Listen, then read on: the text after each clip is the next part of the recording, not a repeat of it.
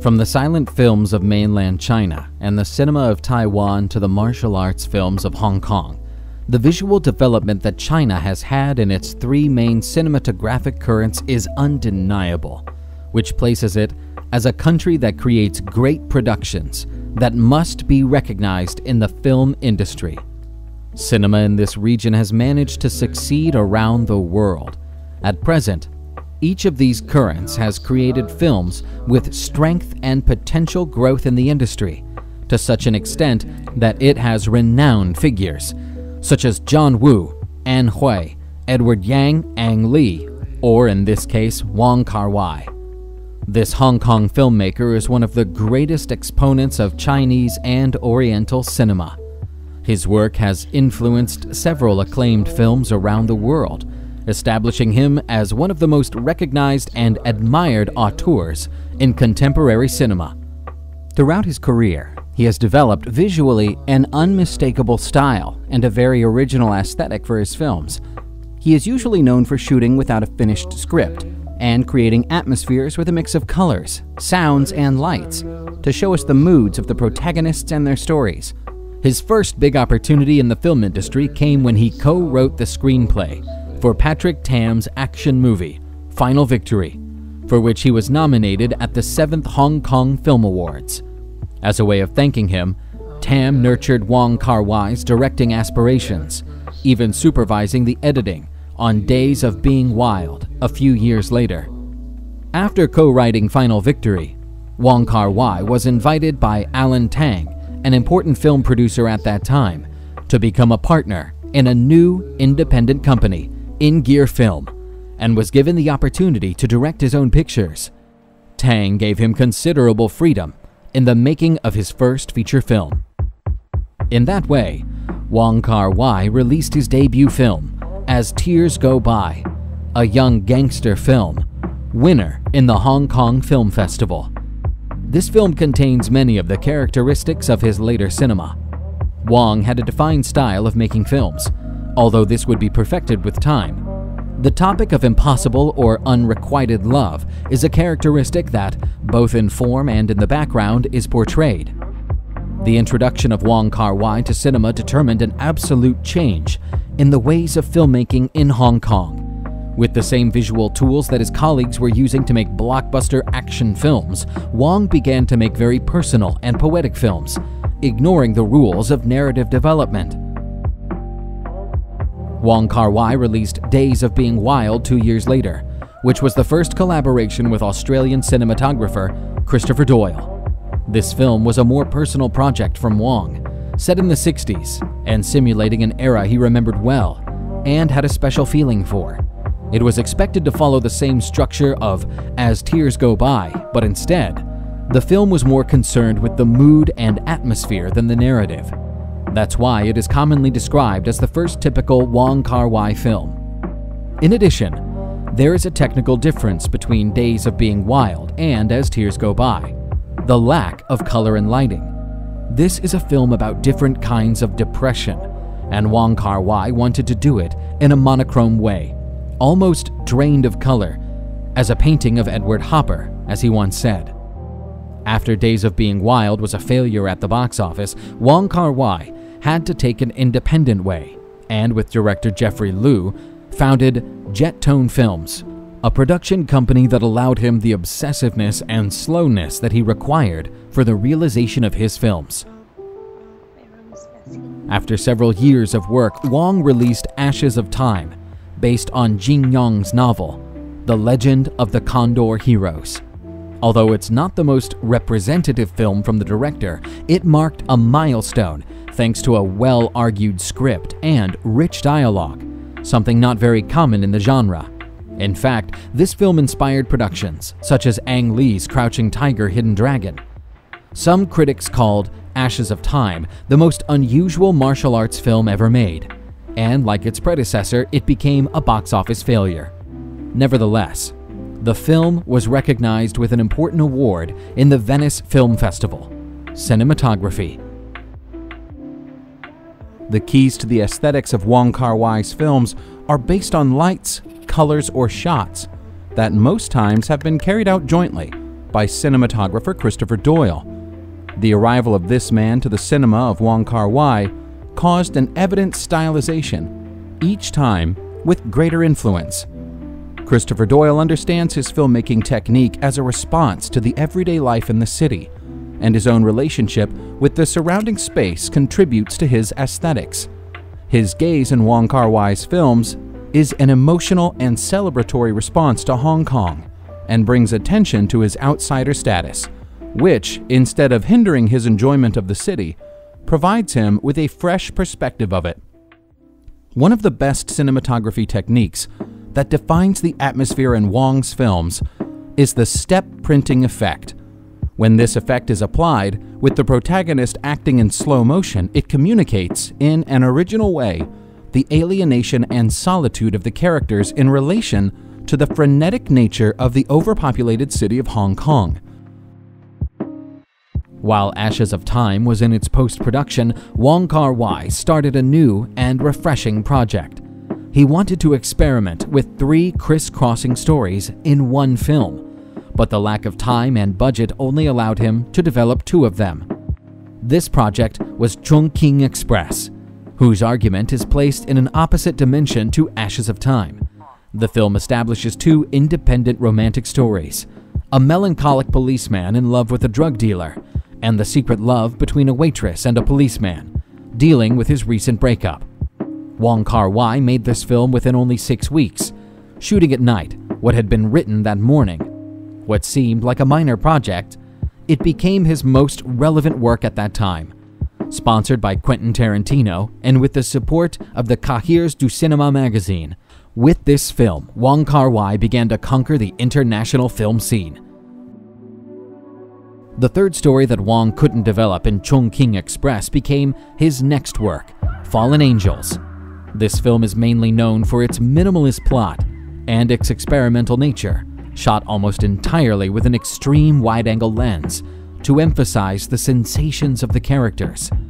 In terms of aesthetics, Fallen Angels marks a milestone in Wong Kar Wai cinema. Unlike its predecessor, this film shows an oppressive but magical atmosphere that manages to capture the bizarre characters in a dark and decadent Hong Kong. Wong Kar Wai continued growing his international reputation with the release of his romantic drama Happy Together, which was released right before The Handover in 1997 and avoided the financial crisis suffered by the Hong Kong film industry at that time. This film earned him the Palme d'Or as Best Director at the Cannes Film Festival, where he became Hong Kong's first winner of that award. Happy Together was filmed in Argentina a new world for Wong's filmography at that time. The script is based on Manuel Puig's novel, The Buenos Aires Affair. Wong claims that his non-linear shooting style came from there. The importance of Happy Together lies in the fact that it was one of the first Chinese films that deals with the subject of homosexuality, which was controversial at that time. In addition, this film marked the international success of two of Wong Kar-wai's fetish actors, Tony Leung and Leslie Cheung. It's very well known that Wong Kar Wai frequently recasts actors who he has worked with on previous films, and that gives it particular warmth, familiarity, and even continuity to the love shipwrecks that are a common element in his cinema. It's inevitable to feel that their love stories never end, and that in the next film, perhaps, those protagonists will meet again with other names, another reality, and who knows? A less discouraging ending. After the success of Happy Together, Wong Kar Wai came back to Hong Kong to produce his next feature film, which became his masterpiece and was named one of the greatest films of the 21st century, In the Mood for Love. This film is authentic poetry, and as such, it doesn't matter what it says, but what it suggests. In the Mood for Love takes us to an intimate territory in Wong's own mind. Memory, time, frustrated love, lack of communication, and disagreement. Those are personal experiences we all endure and try to sink into oblivion. The story that counts is twofold. On one hand, the one that comes from the plot and that plays with the disagreements of a pair of lovers in the 60s. On the other hand, the one we each carry within us. another love story of what could be and never was. In the Mood for Love shares a common spatial feature with Days of Being Wild. Both films concentrate on interior spaces rather than the outdoor spaces of Hong Kong. This city in both films is also characterized by the absence of any recognizable scenery that distinguishes it. This spatial arrangement represents a nostalgic image of 1960s Hong Kong as ambiguous and unfamiliar, and reflects the lack of local identity in collective memory.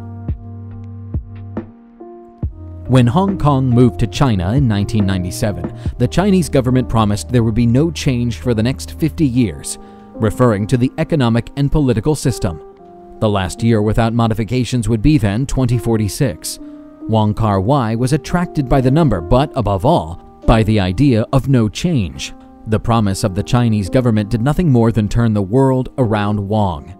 How would it be a place where nothing changes?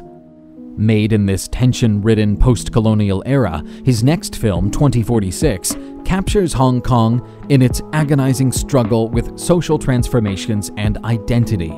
Inspired by the political agenda, the director explores the nature of promise and change. The film is, by far, the most overtly political of Wong Kar Wai's films, and, along with Days of Being Wild and In the Mood for Love, is considered an informal trilogy in his filmography. The plot of 2046 always leads to the same place, where the loneliness of the characters throws them to find themselves in the unfortunate situation of always arriving too late or too early to the love of their lives. In this film, we find again the narrative influence of Mario Puig, in addition to the traditional musical compositions of Spanish American influence, such as boleros. In a way, because my mom has very good taste about music, and Nat King Cole is, is her favorite. And uh, uh, when we were very young, we always go to like restaurants um, to have uh, a quick uh, lunch because this is her, her, her, habit. And, and in those days, in those restaurants, um, especially, especially serving like uh, uh, Western food, they have music. And, and because there's a lot of Philippines uh, uh, populations in Hong Kong, so the Spanish music actually is very popular. So in a way, I want to recapture that, that period. So I, I use um, several a very popular, like uh, a Spanish song in the film. And somehow I discovered there's uh, a Spanish version sung by the uh, Nat King so I used that in the film as a memory of my mom. Wong Kar Wai left Hong Kong to go to New York to produce his first English language film, My Blueberry Nights. This road movie with Norah Jones as the lead, continues to concentrate on the main topics in his stories love and loneliness. Although Wong Kar Wai moved away from the Hong Kong of the 60s, the New York aesthetic in My Blueberry Nights is not far. It's the same nocturnal urban landscape, with rain, neon lights, and with the same melancholic and lonely characters we all know. It could be said that My Blueberry Nights is a beautiful repetition of the same film he had been shooting all these years. Wong Kar Wai again gave a twist to his work, and it took him around three years to produce his next and last film to date, The Grandmaster, a film based on the life story of the Wing Chun Grandmaster, Ip Man. The director's style is arranged in an impeccable way to shape a particular martial arts story. Most of the scenes are of a sublime beauty that move and captivate, approaching the Oriental culture. This film brings elements such as form, visuals, and themes consistent with his previous work. The Grandmaster shows us again that Wong Kar Wai knows how to introduce us better than anyone else in Chinese culture, which may seem very distant to us. But through his careful shots, brings us closer to this story about honor, tradition, and justice. This film will be considered one of the most relevant works in Wong Kar Wai's filmography, mainly for its high technical and artistic level in terms of visual and aesthetic aspect, which were developed by the production designer William Chang. For this and all of Wong Kar Wai's films, Much credit must go to this man, who is best known as art director, costume designer, production designer, and editor. William Chang creates worlds as he thinks they should seem. Just the right interiors in which he can see the actors, wearing just the right colors. Christopher Doyle and William Chang have been an elementary part of Wong Kar Wai's work. Without the support of these creative minds, he would hardly have achieved the wonderful and distinctive aesthetic that is evident in his cinema. Through his films, Wong Kar Wai has developed his own visual and narrative style to represent, in a personal way, his conception of love and loneliness, which place his work as auteur cinema. We could say that, for him, love is intriguing in its relationship with people. His stories are inconclusive and let us think there is always something after the end of each film, which leads us to the conclusion that Wong Kar Wai doesn't tell us a story. He tells us an experience.